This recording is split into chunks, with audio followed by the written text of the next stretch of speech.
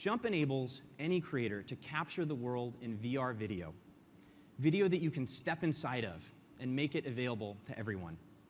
It has three parts a camera rig with very specialized geometry, an assembler which turns raw footage into VR video, and a player. Anyone who's motivated will be able to build a jump ready camera. Now, of course, if you're a pro and you've done filming with multiple cameras, you know that it's kind of complicated. Uh, you need synchronized recording, exposure control, and so on. And so we thought it would be good if someone who really knows how to build a great camera could help out.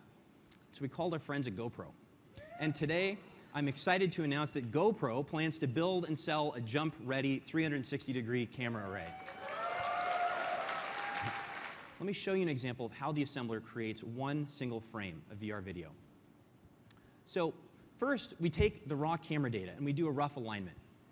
Next, we perform a global color calibration and exposure compensation, and things start to look a bit better. But if we zoom in, you'll see that there are still seams between some of the images,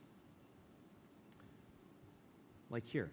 To fix those, our algorithms use information about the underlying structure of the scene to perform a three-dimensional alignment.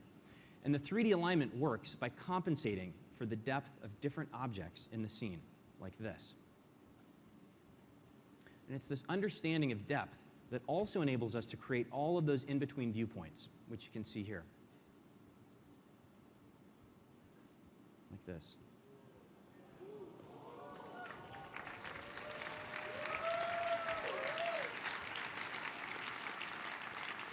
Now, assembling footage like this takes thousands of computers. And we want to make this processing power broadly available. So this summer, we'll begin making the JUMP assembler available to select creators worldwide. Starting this summer, YouTube will support JUMP. So if you want to experience VR video, all you need is the YouTube app, your smartphone, and some cardboard.